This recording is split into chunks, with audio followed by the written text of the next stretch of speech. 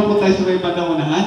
Punuin po natin kagad yung unahan para para naman po lahat po tayo ay mabless kagad.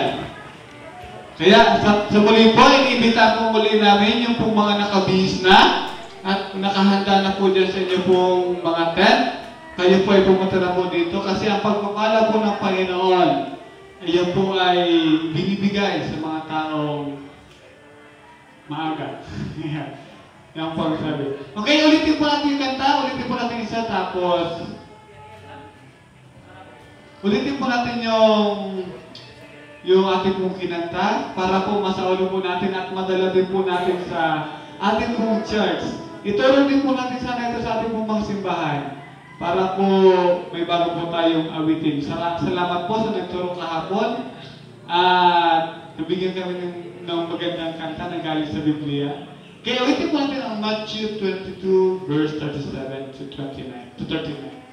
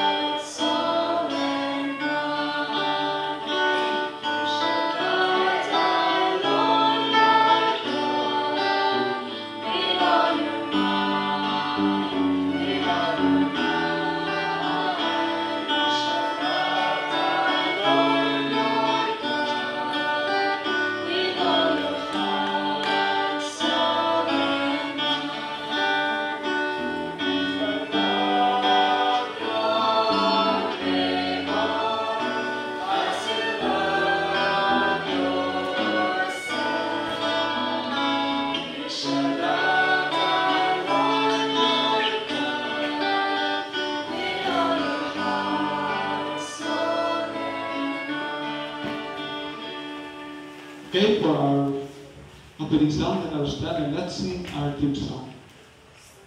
All that clears my soul.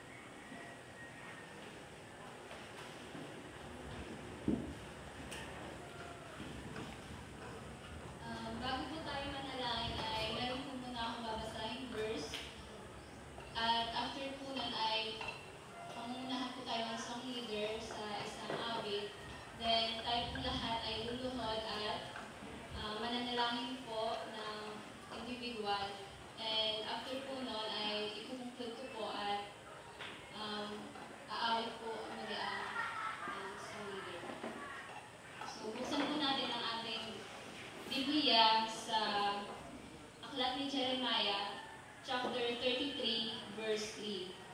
Ito po ang sabi, Call unto me, and I will answer thee, and shew thee great and mighty things, which thou knowest not.